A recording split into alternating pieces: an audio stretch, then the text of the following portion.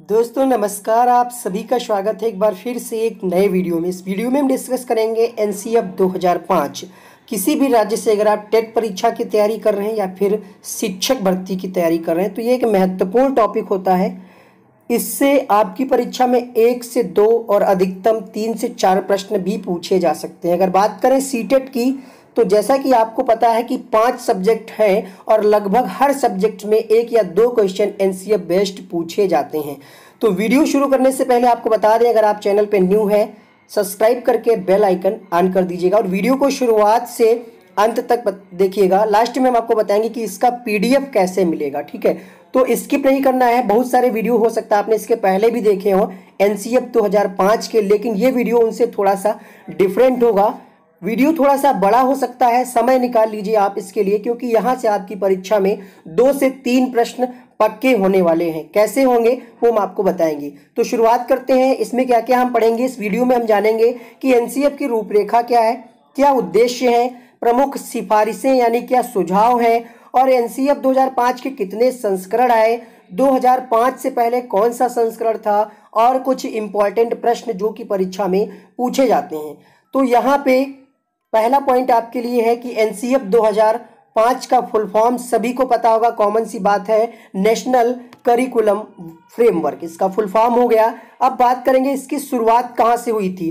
तो एनसीएफ 2005 का प्रारंभ रविंद्रनाथ टैगोर, आपने नाम सुना होगा, उनका एक प्रसिद्ध प्रसिद्ध निबंध था, सभ्यता और प्रगति, उससे इसकी शुरुआत मानी जाती है। इसमें किस चीज़ को प्रमुखता से प्रकाशित किया, किस चीज़ का ध्यान दिया गया है तो एनसीएफ पाँच का प्रमुख सूत्र क्या है? कभी कभी यही प्रश्न डायरेक्ट पूछ लेता है कि एनसीएफ 2005 का प्रमुख सूत्र क्या है? तो बिना बोझ के शिक्षा शिक्षा इसका प्रमुख सूत्र माना गया, यानी लर्निंग विदाउट बर्डन पहला संस्करण इसका आया था 1975 में। फिर उसमें कुछ संशोधन किया गया तो आया 1988 में। हो सकता है किसी दूसरे वीडियो में आपने ये चीज़ें ना पढ़ी हो ठीक है? और इसके बाद ये आपका तीसरा संस्करण आया 2005 में एनसीएफ 2000 सॉरी तीसरा संस्करण आप, संस्करण आपका आया 2000 में और चौथा संस्करण ये आपका है नवीनतम संस्करण 2005 तो एक प्रश्न यहाँ पे कई बार पूछा जा, जाता है कि एनसीएफ 2005 का जो निर्माण हुआ था, उसके पहले कौन सा या कि, ऐसे प्रश्न पूछा जा सकता है कि किसका संशोधन करके एनसीएफ 2005 का निर्माण किया गया। तो आपको ध्यान रखना है कि एनसीएफ 2000 में संशोधन करके एनसीएफ 2005 का निर्माण किया गया था, ठीक है? और इसका जो अनुवाद है, एनसीएफ 2005 का अनुवाद आठवीं अनुसूची में दी गई 22 भाषाओं में अनुवाद इसका किया गया है। प्रश्न पूछा जाता है कि कितनी भाषाओं में एनसीएफ 2005 का अनुवाद किया गया है? तो 22 भाषाओं में अनुवाद किया गया। जो इंपॉर्टेंट पॉइंट है, वो आप नोट करते चलिएगा, जहाँ से प्रश्न पूछे जा सकते तो हमने आपको बताया, एक बार फिर से रिविजन करा देते हैं इतने में ही। टोटल चार संस्करण थे, ठीक है? यहाँ पे आपका चौथा संस्करण कौन सा है? 2005 आपको ये जानना बहुत ही ज़्यादा ज़रूरी है कि पहला संस्करण 1975 में, फिर 1988 फिर 2000 और फिर 2005 और ये 22 भाषाओं में अनुवाद किया गया था। महत्वपूर्ण तथ्य क्या है, यानी रूपरेखा क्या है इसकी? तो ये है क्या एनसीएफ 2005 यह विद्यालय शिक्षा का अब तक का नया राष्ट्रीय दस्तावेज़ है। मतलब इसी के आधार पे विद्यालय में जो एक्टिविटी होंगी, जो भी कार्यक्रम होंगे, जो भी क्लास में शिक्षा होगी, शिक्षण की प्रक्रिया होगी, उसके कुछ नियम और कायदे बताए गए हैं। फॉलो कुछ किए जाते हैं, कुछ नहीं किए जाते हैं, वो बात अलग की है। लेकिन जैसे आपका एक संविधान है, वैसे ही आपका एक एनसीएफ है कि स्कूल की पाठ्यचर्या कैसी होगी किन किन चीज़ों का उसमें ध्यान रखना होगा, इन सारी बातों का समावेश किया गया है एनसीएफ 2005 में। किसके द्वारा तैयार किया गया, किसने बनाया है, किसकी सिफारिश पे बनाया है, सारी चीज़ें आपको इसी वीडियो में मिलेंगी। तो वीडियो अगर आपको पसंद आता है तो अभी से आप लाइक कर दें, क्योंकि आप भावनाओं में खो जाते हैं और लाइक करना भूल जाते हैं। तो लाइक करने से क्या होता है? मोटिवेशन मिलता है और कमेंट करके बताइएगा कि ये वीडियो आपको कैसा लगा। तो यहाँ पे रूपरेखा में हम जानेंगे कि ये है क्या। यह विद्यालयी शिक्षा का अब तक का सबसे नया और राष्ट्रीय दस्तावेज़ है, जो कि एनसीएफ 2005 है। किसके संस्करण के बाद ये आया था? किसका नया रूप था? तो 2000 एनसीएफ 2000 में संशोधन करके इसका निर्माण किया गया था।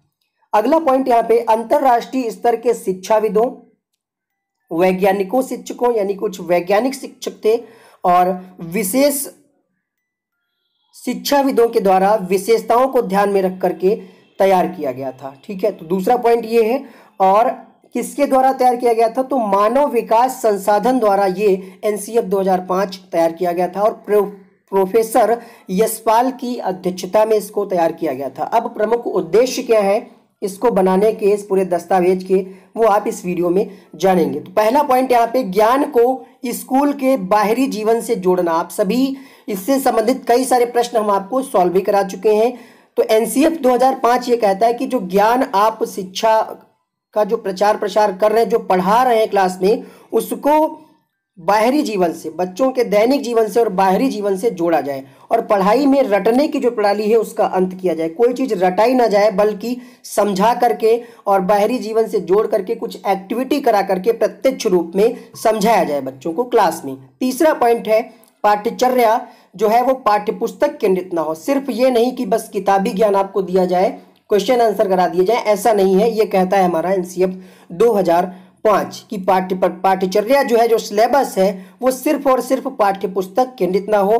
कक्षा कक्ष में कुछ एक्टिविटी जैसा कि हमने आपको पहले बताया, कुछ गतिविधियों को भी जोड़ा जाए। पांचवा पॉइंट है यहाँ पे राष्ट्रीय मूल्यों के प्रति विद्यार्थी आस्थावान हो। मतलब राष्ट्र के प्रति उनका प्रेम बना रहे, अपने संस्कृति के प्रति उनकी मतलब उनकी इच्छा बनी रहे और उसके प्रति जो है विद्यार्थी जागरूक हों, राष्ट्रीय मूल्यों के प्रति ऐसे टॉपिक्स को सिलेबस में शामिल किया जाए। आस्थावान का मतलब यही हुआ कि बच्चा जो है ऐसी चीज़ों को पढ़े जो उनके राष्ट्र के प्रति समर्पित हो और उनके दैनिक जीवन से जोड़ करके उन चीज़ों को पढ़े। तो ये कुछ प्रमुख उद्देश्य थे, पाँच पॉइंट और कुछ ऐसे पॉइंट हैं यहाँ पे और आपने दे, देखा यहाँ पे। कुछ सुझाव दिए गए थे एनसीएफ 2005 और हमने आपको बताया था कि इसका आपको पीडीएफ मिल जाएगा। वीडियो को शुरुआत से अंत तक देखें, आपको लास्ट में प्रक्रिया बता दी जाएगी, कैसे मिलेगा इसका पीडीएफ तो यहाँ पे कुछ सुझाव हैं। एनसीएफ 2005 के पहला सुझाव था कि शिक्षण प्रक्रिया में विभिन्न प्रकार के सूत्रों का प्रयोग किया जाए। तो शिक्षण सूत्र आपने पढ़े होंगे कौन कौन से सरल से कठिन से और संश्लेषण से विश्लेषण की ओर और स्थूल से सूक्ष्म की ओर, ये सारे शिक्षण सूत्र जो है, जहाँ पे जिस शिक्षण सूत्र की आवश्यकता हो, उसका प्रयोग कक्षा में किया जाए। आगमन और निगमन विधि का प्रयोग किया जाए, ये भी इसी के अंतर्गत आएगा। सूचना को ज्ञान मानने से बचा जाए। ये नहीं कि आप बच्चों को सिर्फ़ क्वेश्चन आंसर लिखा दें, उसको समझाएँ ना।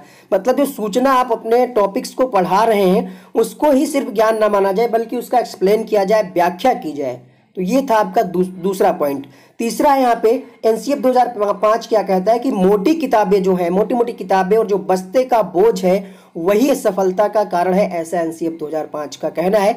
यानी किताबी ज्ञान ना दिया जाए और मोटी मोटी किताबों का बोझ बच्चों पे ना डाला जाए। चौथा पॉइंट ये है कि बच्चा तर्क वितर्क कर पाने में योग्य हो, इस प्रकार की शिक्षा उनको दी जाए। पांचवा पॉइंट मूल्यों को वातावरण प्रदान करके सिखाया जाए, उपदेश देकर नहीं। लेक्चर मेथड ही सिर्फ़ नहीं, बल्कि एक उसके हिसाब से जो भी आप टॉपिक पढ़ा रहे हैं, उसके हिसाब से वातावरण भी प्रदान किया जाए। सिर्फ़ मौन वाचन ही नहीं, जैसा कि पहले हमारी वैदिक शिक्षा प्रणाली में होता था कि बस टीचर जो है ज्ञान बांटता था, उपदेश देता था और बच्चे जो है सुनते रहते थे। ऐसा नहीं है। अब वर्तमान में शिक्षण प्रणाली को ये कहा गया है कि वातावरण अच्छा प्रदान किया जाए और सिर्फ़ उपदेश देने पर ध्यान नहीं दिया जाए। छठा पॉइंट है यहाँ पे, बच्चों को स्कूल से बाहरी जीवन से तनाव मुक्त वातावरण प्रदान करना चाहिए। यानी जो वातावरण है, वो बाहरी जीवन से तनाव मुक्त हो। बच्चे टेंशन फ्री हो करके अपनी स्टडी को कंटिन्यू करें, पढ़ाई करें ढंग से। किसी भी प्रकार का कोई दबाव ना हो, मानसिक कोई प्रेशर ना हो, इस बात की सिफारिश की है एनसीएफ 2005 में। अगला पॉइंट है यहाँ पे, अभिभावकों को समझाएँ कि बच्चे वास्तविक आकांक्षा रखें। मतलब बच्चों से, वास्तविक आकांक्षा से रखने से मतलब ये है कि बच्चों को सिर्फ़ नंबर ही मतलब जो आपका रिज़ल्ट होता है, मान लिया किसी बच्चे का कोई रिज़ल्ट कम आया है तो उस पर उसका आकलन ना किया जाए, क्योंकि प्रत्येक बच्चा विशिष्ट होता है प्रत्येक बच्चे की बुद्धिलब्धि अलग होती है सीखने का तरीका अलग होता है। तो अभिभावकों को, यानी गार्जियंस को इस पर प्रेशर ना किया जाए, अगर किसी भी परीक्षा में उसके नंबर कम आते हैं तो ठीक है? ये था आपका नवा आठवां पॉइंट नहीं, सातवां पॉइंट था। आठवां पॉइंट यहाँ पे कक्षा में शांति नहीं होनी चाहिए, कक्षा जीवंत होना चाहिए। शांति नहीं होनी चाहिए का मतलब ये नहीं कि बहुत ज़्यादा शोर शराबा हो। मतलब टीचर और शिक्षक के बीच अंत संबंध होना चाहिए और वार्तालाप होनी चाहिए, जिससे क्या है, कक्षा जो है जीवंत रहेगी। ये नहीं कि पहले की तरह टीचर सिर्फ़ बोलता जा रहा है और बच्चे बस सुनते जा रहे हैं तो ऐसा नहीं होना चाहिए, ये कहता है हमारा एनसीएफ 2005 वीडियो थोड़ा लंबा है, लेकिन कई सारी चीज़ें आप यहाँ से सीख करके जाएँगे। तो पूरा देखिए और पसंद आए तो लाइक ज़रूर कीजिएगा।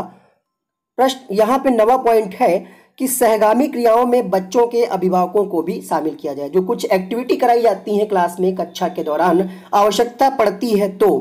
अभिभावकों को उसमें भी सम्मिलित किया जाए, जिससे अभिभावक भी जाने कि क्या क्या हमारा बच्चा सीख रहा है और किस लिए सीख रहा है, उसका उद्देश्य क्या है। इसलिए अभिभावकों को भी इसकी जानकारी दी जाए। आपने देखा होता है क्या है कि मान लिया कोई ट्रिप कोई ट्रिप जाती है बाहर आउटिंग के लिए तो अगर आप, आपका बच्चा या जो भी बच्चा है वो घर में पूछता है तो बच्चे उनके अभिभावक कहते हैं, अगर वो उनको नहीं पता इसका मोटिव क्या है किसी आउटिंग पे ले जाने का बच्चों का तो यही कहते हैं, अरे, क्या फ़ायदा है जाने से? तो इसलिए अभिभावकों को भी शामिल किया जाए कि उनको भी पता चले कि ये जो कार्यक्रम कराया जा रहे हैं, कुछ सांस्कृतिक कार्यक्रम है या कुछ एक्टिविटी है या पौधारोपण है, जो भी एक्टिविटी यहाँ पे सहगामी क्रियाएँ उनमें बच्चों के अभिभावकों को भी शामिल किया जाए। अगला है यहाँ पे पॉइंट नंबर दस, मानव संसाधनों का विकास अवसर देना। ठीक है, विकास, मानव संसाधनों के लिए विकास के अवसर भी दिए जाए बच्चों को।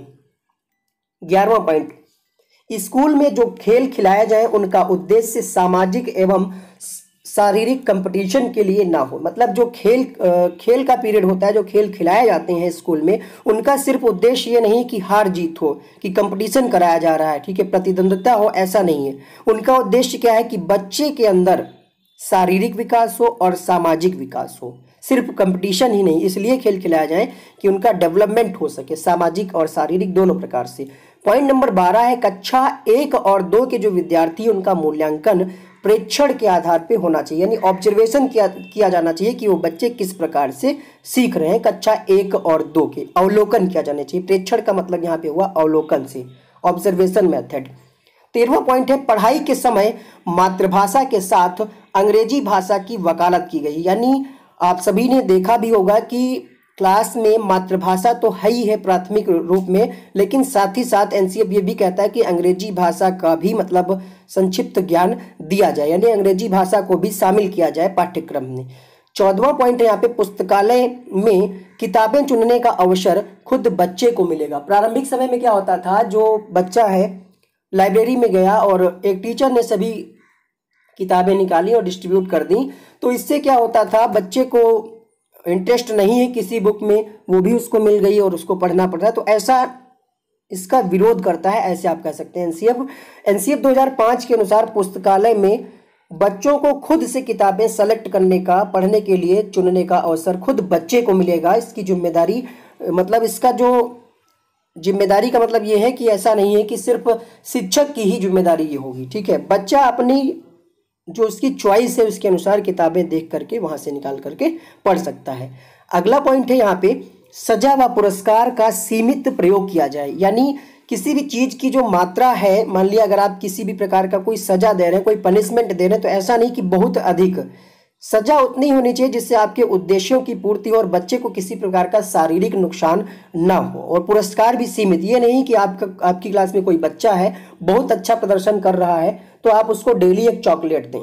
ठीक है? इससे क्या होगा? फिर वो लालच की भावना हो जाएगी और फिर वो उतना अच्छा उसका प्रभाव नहीं पड़ेगा आपके पुरस्कार का। तो इसका सीमित प्रयोग किया जाए। सत्रहवा पॉइंट है, शिक्षा जो हो वो बाल केंद्रित हो। ये तो आपने कई बार पढ़ा होगा। ठीक है? यानी बालक की आवश्यकताओं और रुचियों को ध्यान में रखा, रख करके ही शिक्षा प्रदान की जाए। इसी को हम कहते हैं बाल केंद्रित शिक्षा। अठारहवा पॉइंट है, सांस्कृतिक कार्यक्रमों में कार्यक्रमों में इंटरटेनमेंट की जगह कल्चरल एक्टिविटी को स्थान दिया जाए या मौका दिया जाए। मतलब जो सांस्कृतिक कार्यक्रम होते हैं हमारे राष्ट्रीय पर्वों पे, जैसे कि आपने देखा होगा 26 जनवरी और 15 अगस्त। इनमें क्या है? सिर्फ़ एंटरटेनमेंट यानी जो फिल्मी गीत होते हैं, उनकी जगह कल्चरल एक्टिविटी उसको मौका दिया जाए, उस प्रकार के कार्यक्रम कराया जाए। अब ये इतना फॉलो नहीं किया जाता है, ठीक है? सॉन्ग्स वगैरह पे डांस और कई सारी सांस्कृतिक कार्यक्रम कई सारे प्रकार के होते हैं, लेकिन कहता यही एनसीएफ 2005 कि अब ऐसा प्रश्न आपकी परीक्षा में आ सकता है और आपने देखा है कि स्कूलों में क्या होता है? तो हो सकता है आप, आपके मन में वही बात चल रही हो, उसी के हिसाब से आप आंसर टिक कर दें और आपका आंसर गलत हो जाए। तो एनसीएफ 2005 जो है, किसको प्राथमिकता देता है यहाँ पे?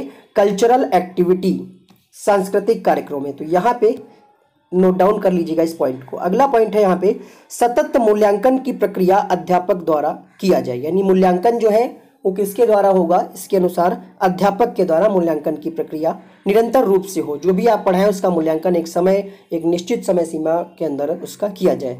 शिक्षकों को अकादमिक पुरस्कार व नवाचार समय पर पहुँचाया यानी शिक्षक अगर कोई अच्छा प्रदर्शन कर रहा है तो उसको भी मोटिवेट करने के लिए जो उसके पुरस्कार हैं, वो एक निश्चित समय पर उन तक पहुँचाया जाए, जिससे वो अगले अपने लक्ष्य की तरफ़ जो भी उनको काम करना होगा, उसमें और अधिक मोटिवेट होंगे और अपना और बेस्ट देने का प्रयास करेंगे। तो ये था आज का वीडियो एन सी 2005 तो अगर आप भी ऐसी किसी राज्य से टेट शिक्षक भर्ती परीक्षा की तैयारी कर रहे हैं पीडीएफ प्राप्त करना चाहते हैं तो आप हमारा टेलीग्राम चैनल ज्वाइन करें। लिंक आपको डिस्क्रिप्शन बॉक्स में और कमेंट बॉक्स में मिल जाएगा।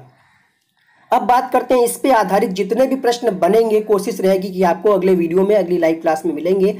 तो थैंक यू सो मच आप सभी का इस वीडियो को देखने के लिए। वीडियो कैसा लगा? कमेंट बॉक्स में ज़रूर बताइएगा। क्या चीज़ें अभी आप इसमें और देखना चाहते हैं? एनसीएफ पाँच से जुड़ी, वो भी आप हमें कमेंट बॉक्स में ज़रूर बताएँ। उम्मीद करते हैं ये वीडियो आपके लिए काफ़ी हेल्पफुल होगा सभी शिक्षक भर्ती परीक्षाओं के लिए। तो शेयर भी कर दीजिएगा अपने हर स्टूडेंट्स मतलब आपके जो भी फ्रेंड्स हैं, जो भी सीटेट या शिक्षक भर्ती की तैयारी कर रहे हैं, चाहे यूपी से हो या फिर सीटेट ऑल इंडिया जो एग्ज़ाम होता है सीटेट का सेंट्रल टीचर एलिजिबिलिटी टेस्ट उसके लिए। तो उन तक ये वीडियो शेयर कर दीजिएगा। एक ही वीडियो में आपने क्या क्या जाना? रूपरेखा क्या है? उद्देश्य क्या है? और सुझाव क्या क्या दिए थे एनसीएफ? और कितने संस्करण थे? और कितनी भाषाओं में अनुवाद किया गया? कुछ इंपॉर्टेंट पॉइंट आपने जाने। उम्मीद करते हैं इस वीडियो के माध्यम से आपका एक या दो प्रश्न ज़रूर तैयार हो गया होगा। अगर आपको अभी भी कोई डाउट है तो आप कमेंट सेक्शन में कमेंट करें। आपको उससे रिलेटेड वीडियोस दिया जाएगा। और डिस्क्रिप्शन बॉक्स में आपको हर सब्जेक्ट्स की पैडागोजी ईवीएस संस्कृत मैथ सारे लिंक आपको दिए जा रहे हैं, उसको भी आप चेक कर सकते हैं। सजेस्टेड में ऊपर आपको आई बटन में भी शो कर रहा होगा। तो थैंक यू सो मच इस वीडियो को देखने के लिए। मिलते हैं अगले वीडियो में। नमस्कार।